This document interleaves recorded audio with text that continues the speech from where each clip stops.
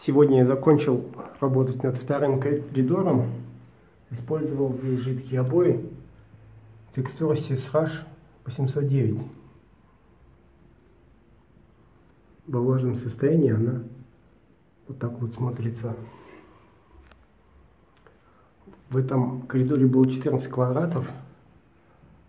А неделю назад до этого я сделал маленький коридор. И вот эта текстура уже в высохшем состоянии посветлела таким вот образом.